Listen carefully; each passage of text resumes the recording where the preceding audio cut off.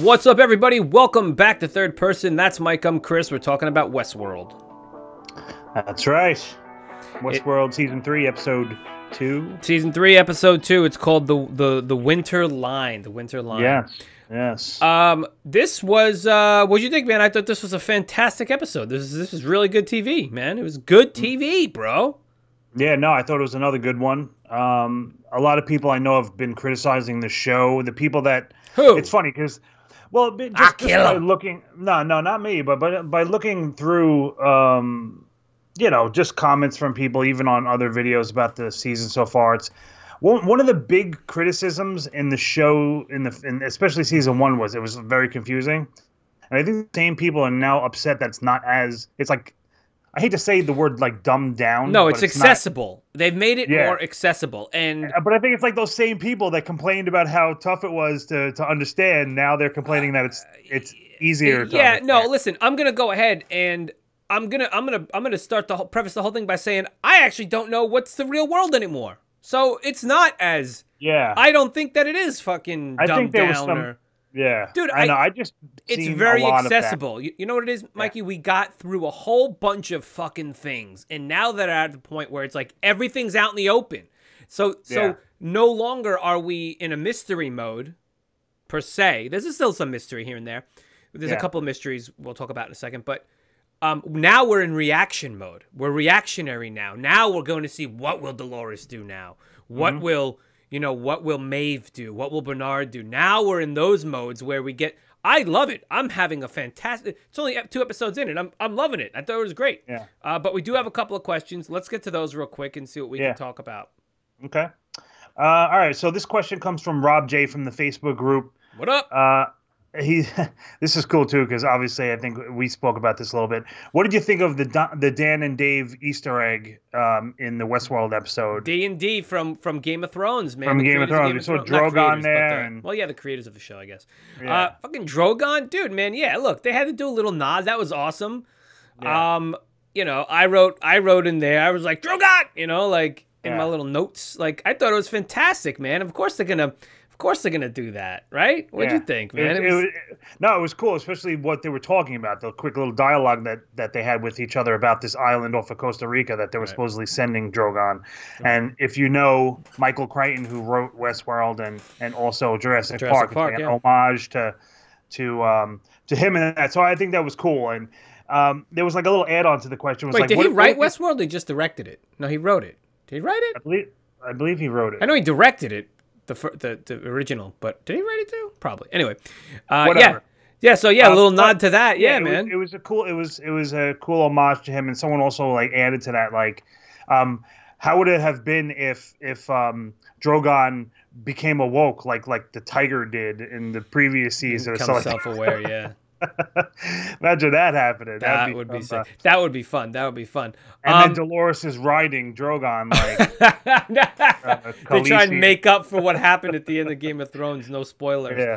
Sorry, spoiler alert. Yeah, that was great. That was fantastic. I, I Yeah, it was cool. It was cool to see. It was Yeah. cool to to see. Um, probably, I'm probably more happy to see Drogon than I am to see Yeah, Dan and Dave after the way the the season ended. yeah, true.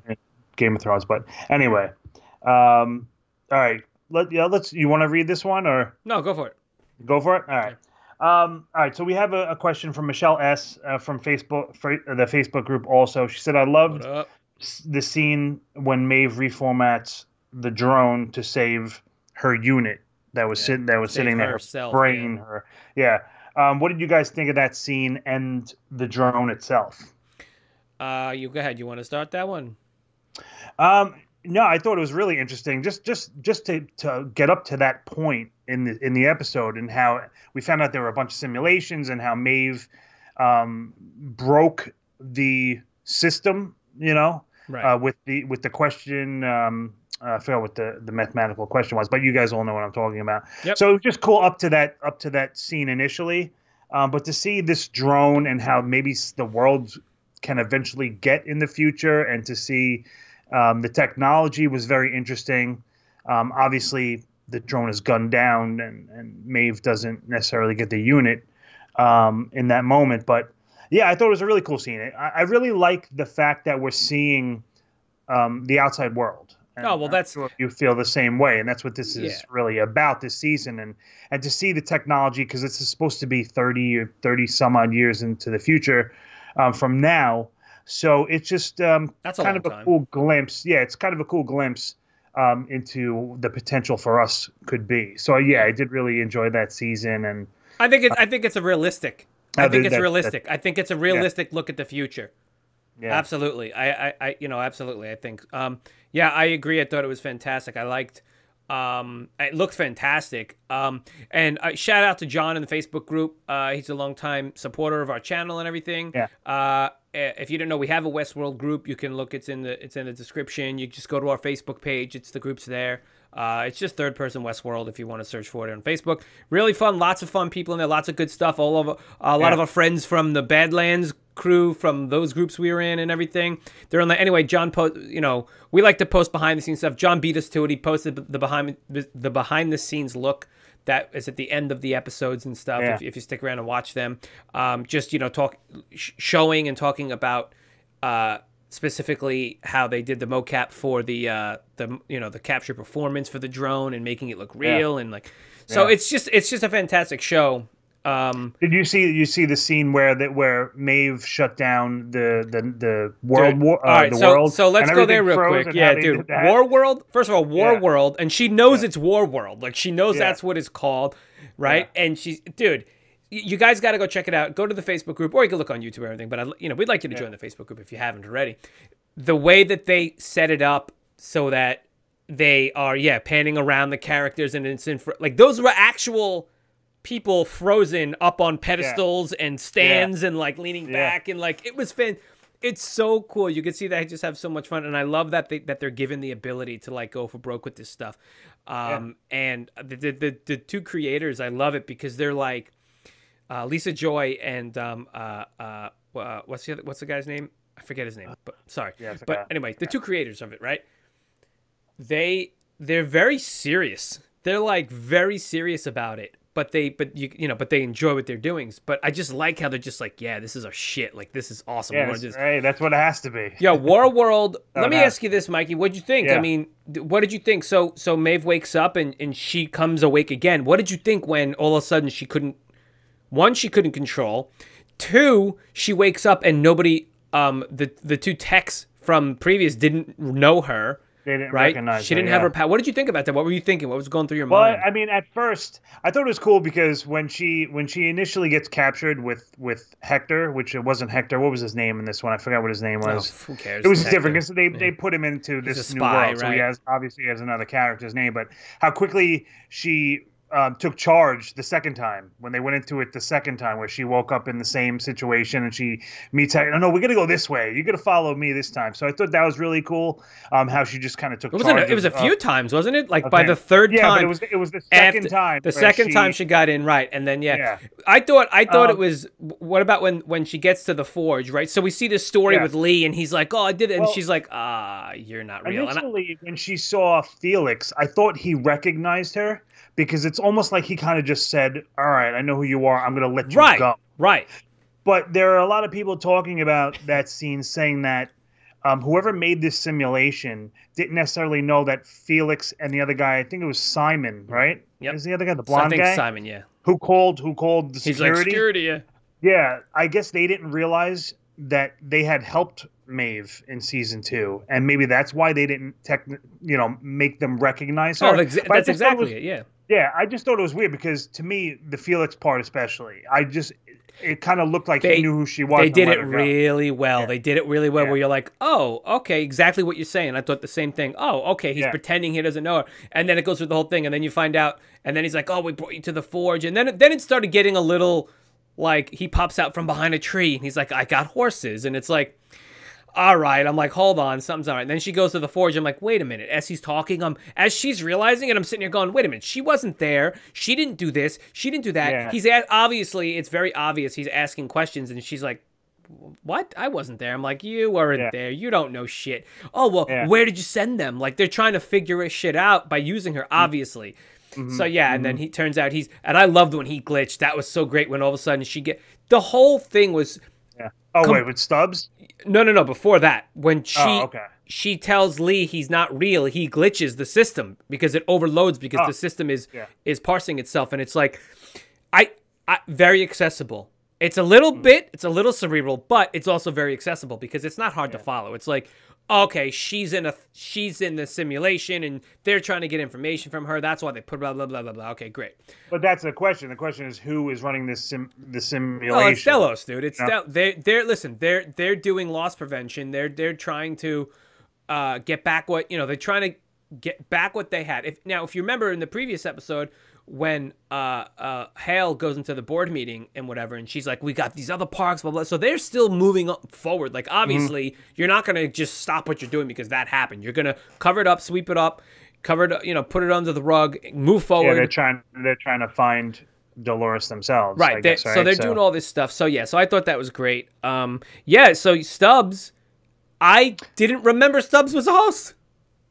Yeah, yeah, yeah. The, la- the end I of the season. He- completely yeah. forgot. I didn't watch the last Yeah. episode beforehand. I didn't get a chance. So yeah, dude, I didn't know. I just like I was like, oh my god. And if you watch Yeah. that behind the scenes thing uh, that John was gracious enough to post for us, he Mm-hmm. uh, uh, that was that was all Luke Hemsworth, man. That was all him. Yeah, he did. it. Yeah, he did a great job too. Because at first I'm like, damn, eh, I like- wonder if that's like computer Yeah. generated or whatever. Animated Bernard does the same thing. He does it really well too. They Yeah, do the sa- yeah. No, they they both really did a, a great job as far as the whole you know rebooting or whatever you want to say or uh, glitching. yeah. Yeah, it was. Uh, I mean, listen, we have.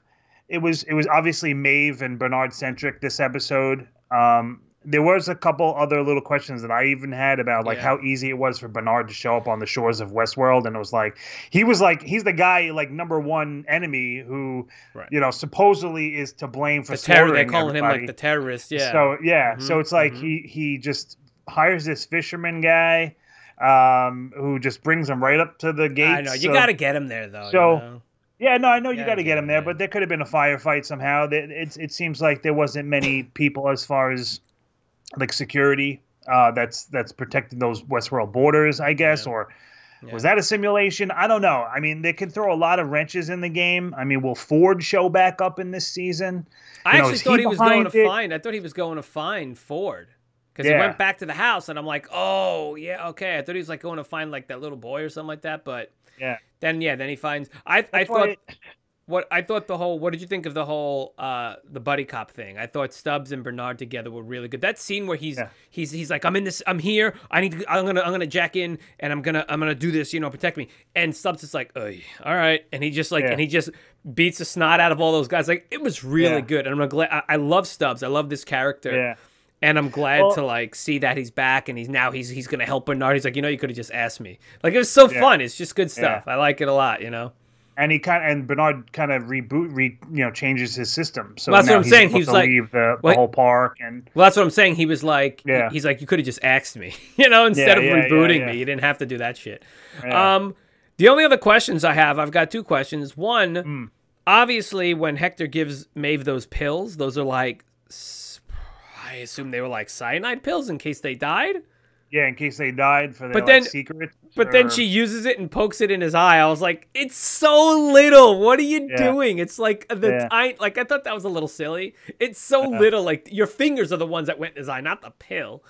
But maybe it was because it like it blew up in his eye and it was like gonna foam out his eye or something. I guess that was the whole fluid. point. but- yeah, Um, and the other one is who is this? Who is this Serac guy?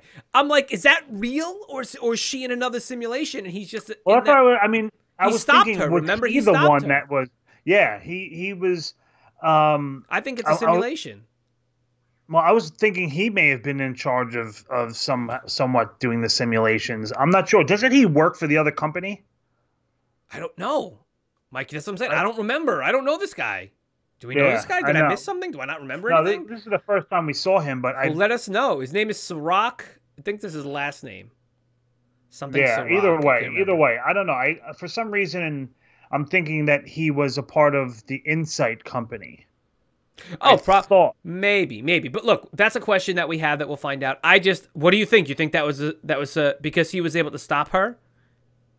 Maybe I mean, is could he be uh could he be a host himself? No, no, I don't think he's a Uh, host. I think he's a real person. But I'm thinking he was in a, they were in a simulation. They, he booted her up in a simulation, like possibly. I mean, otherwise, all of a she appeared. Right, but otherwise, totally where what place. body would she have? Where where would they get her a body? Like he would just get it from Delos, like unless he's running it at. De- who the hell knows? Unless that wasn't even Delos, that might not even, that may not have even been Delos.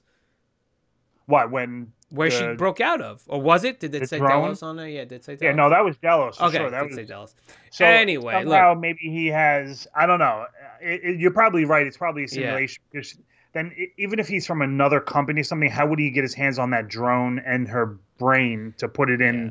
Her body. So that you so, know, I don't these, know. It's, these are questions that you know a simulation, and he's trying. Obviously, he pauses her, and his whole his whole mission is to get um, uh, Maeve on his side to right, yeah. to destroy. He's got to get her to want to, I guess. Yeah, yeah. That's so we'll yeah. Will, so. so we'll we'll see. I guess we'll definitely see. Um, hell yeah, it was a fantastic episode. I loved it. Uh, we're gonna uh, we're gonna end that there. Um, yeah. I I just I just have a little bit of a, a rant slash PSA. I'm sorry, I got to do it. Um, I'm a mailman.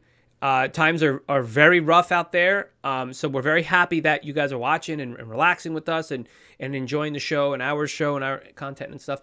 But I just want to say again, I am a mailman. I'm out there. Um, I have I'm I'm lucky enough to not be out of work. Um, yeah. you know, Mike also is lucky enough to be not out of work right now. You know, he, he he's working in the hospital. I, don't, I don't think I think we've mentioned that before, Mike.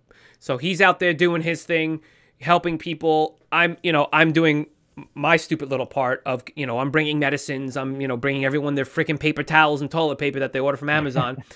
you know I'm out there wearing a mask, gloves and stuff. But my, people, I have to I have to say this because it's been it's been two full weeks now of people are just not staying home. I get you're bored, you're tired, your kids are driving you fucking crazy. I get that shit, but it's yeah. it's so important that people people are walking around their neighborhoods. Oh, I can go walk. I can go on a jog. I can go. But you're walking around with other people. You're, you're meeting. You're meeting people. Groups of people are meeting in the streets in the in the neighborhoods I'm delivering in. They're walking their dogs with other people. Their kids are riding their bikes through other groups. Of, I'm I'm losing my goddamn shit out there, people. I'm serious. They're not, and no one's wearing masks. No one's like, they are setting up morgues on corners in the city right now in New York City. They're setting up fucking morgues. People are dying from this shit, and you're out there fucking spreading it around. Please stay the fuck home.